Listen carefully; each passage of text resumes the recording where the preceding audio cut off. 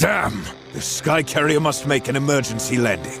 The Iron Will will guide us. Using the newly discovered element T3, the Sky Carrier is a floating fortress, which will assuredly change modern warfare as the world knows it. We have not forgotten our promise. Atlas will bring order to the world. Our intelligence sources have indicated that the Sky Carrier, once thought to be for demonstration purposes only, is preparing for an assault against a UAC base. Fortunately, we have managed to bring our satellite defense system online. The Sky Carrier hasn't been destroyed, but at least we shut down Atlas's plans. Analysis indicates that the Sky Carrier is equipped with very advanced electronic countermeasures, complicating our attempts to neutralize it as a threat. To counteract this, targeting beacons are to be placed at designated locations, greatly assisting the satellite's tracking system. The satellite's weapon consumes an incredible amount of energy, and its recharge speed is prohibitively short, so we will only have one chance at this.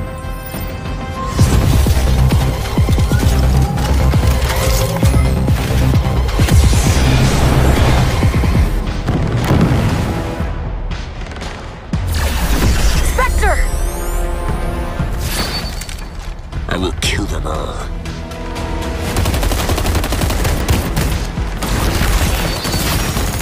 Your priority is disabling that beacon. Do not let them locate the Sky Carrier.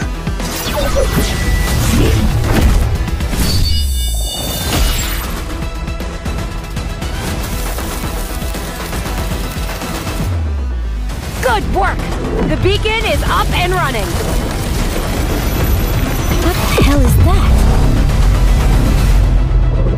An energy shield?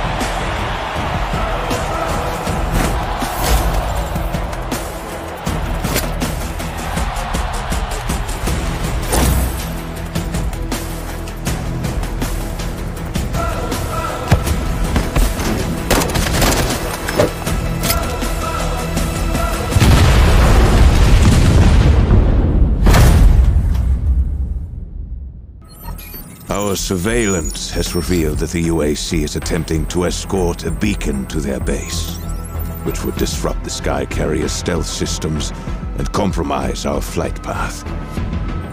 The Iron Will has calculated their route. We have the advantage of surprise. Alias is a critical information leak and needs to be eliminated immediately.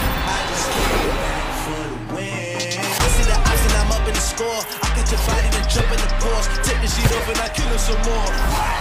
I just came back for the band. Lot of new money in my hand. Made it to the top, ain't no way that they can stop me now.